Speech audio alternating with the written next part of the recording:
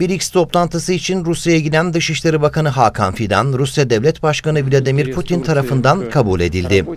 Rus lider, Cumhurbaşkanı Erdoğan'la Astana'daki Şangay İşbirliği Örgütü toplantısında görüşeceğini açıkladı. BRICS evet görüneni. BRICS'e zaten e, uzun zamandan beri Türkiye'nin ilgisi var.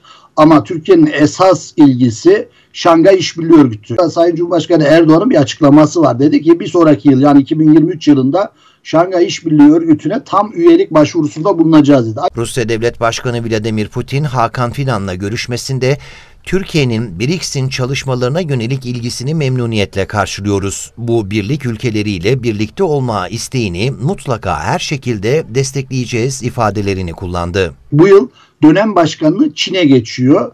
Dolayısıyla e, bu zirvede de Putin'in Sayın Cumhurbaşkanı'yla Erdoğan'la bu zirvede aralarda görüşeceğiz demesi aslında çok önceden Rusya ve Türkiye arasında bu zirveyle ilgili bir görüşmenin gerçekleştiğini, Cumhurbaşkanı Erdoğan'ın da bu zirveye katılacağını, muhtemelen yine e, Rusya'nın da bu noktada davet bağlamında girişme. Putin, Rusya ile Türkiye'nin Suriye krizinin çözümünde önemli rol oynadığını belirtti.